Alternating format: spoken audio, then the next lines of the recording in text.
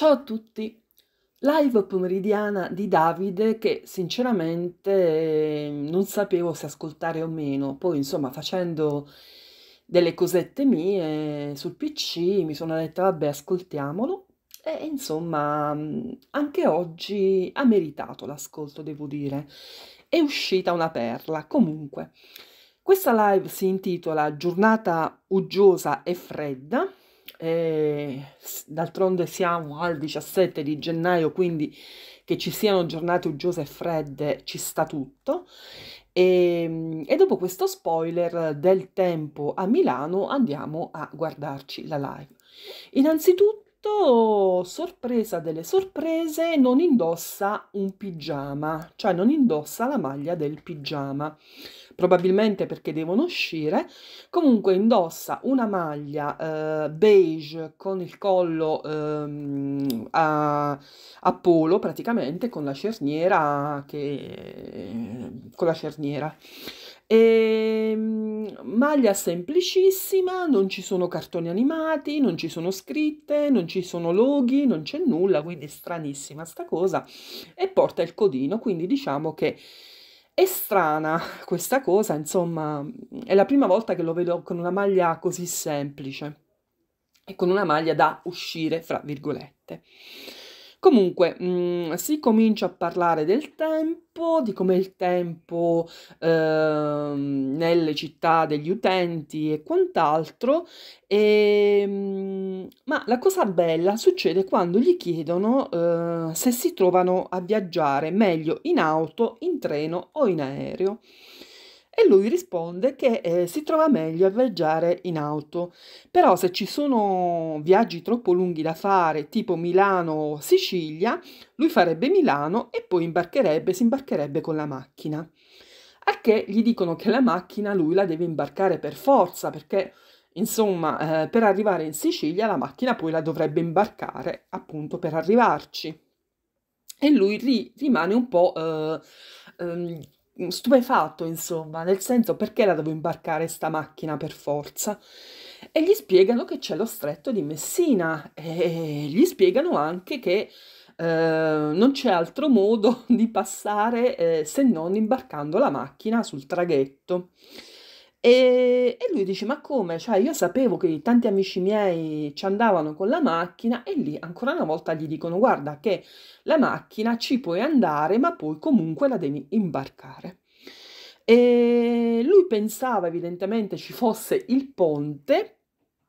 una volta scoperto eh, che questo ponte ancora non esiste, e a me sinceramente quando, quando gli, ude- gli, utenti gliel'hanno detto mi è sembrata scioccata anche un po' la Luciana, devo dire la verità, mi è sembrata stranita di questa notizia. Comunque, quando gli hanno detto che questo ponte non esiste, lui ha detto la genialata, cioè pensavo ci fosse una strada alternativa. E lì, sinceramente, io penso che tutti gli utenti, io ci sono rimasta veramente stranita, ma penso un po' tutti gli utenti, e, e gli hanno spiegato che eh, se ci fosse questa strada non ci sarebbe stato bisogno, insomma, del ponte. Comunque, lui a un certo punto ammette che eh, ha detto una castroneria praticamente e e uno, un utente, gli dice: Guarda, non c'è nulla di male eh, ad ammettere di aver detto di essere ignorante, insomma, di ammettere la propria ignoranza. E là, altra perla, lui dice che non è ignorante. Devo dire che eh, questa cosa dello stretto di Messina e della strada alternativa a me sì, ha fatto ridere, però ehm, in un certo momento mi ha fatto anche tanta tenerezza lui, perché ehm, effettivamente è un semplicione, tante cose lui le ignora, vuoi per carenza di studi, vuoi perché non si informa, vuoi perché ormai eh, non basterebbe una vita, insomma, per uh, colmare le sue lacune e, e alle volte, insomma, fa anche tenerezza se non fosse che lui risponde a chi eh, gli dice appunto eh, guarda sei ignorante, eh, ma non sei ignorante come ehm, offesa, sei ignorante perché non conosci determinate cose, perché le ignori Ecco, e, e lui risponde con eh, presunzione ed arroganza. E lì veramente ti viene da dire ma guarda che sei ignorante forte, sei ignorante perché ignori e sei pure imbelle, sei imbecille perché imbelli, ecco, cioè a questo punto prenditela tutta, voglio dire.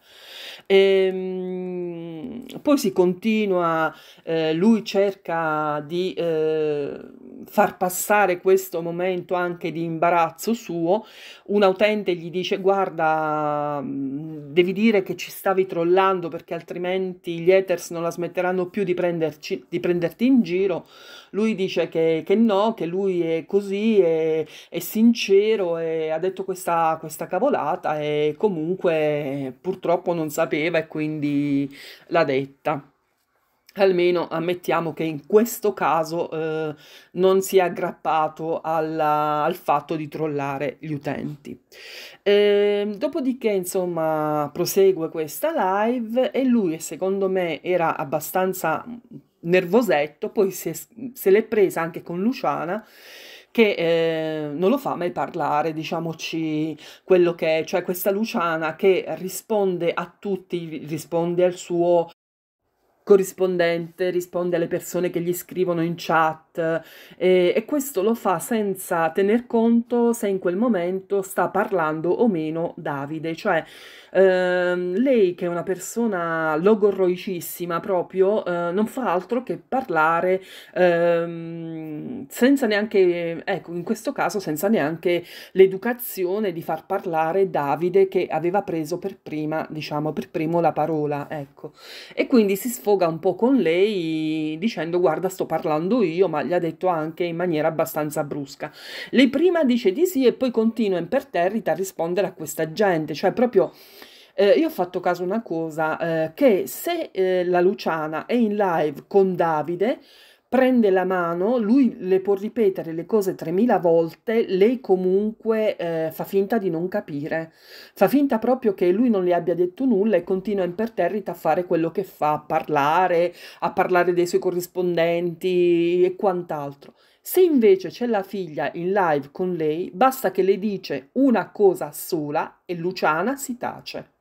Fateci caso, cioè io non so se per timore che la figlia possa avere un attimo di eh, sproloqui nei suoi confronti, nei suoi confronti, mettiamola così, o perché sa che alla fine Davide è un bonaccione e, e quindi sa che può comportarsi in questa maniera, io non lo so, fatto sta che insomma, quantomeno io questa cosa l'ho notata.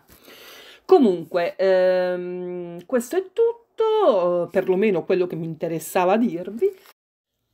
Vi auguro una buona serata, se volete iscrivetevi al canale, tanto non vi costa nulla, se volete lasciatemi un like, se volete sempre lasciatemi dei commenti, eh, vi do un bacio e eh, buonasera.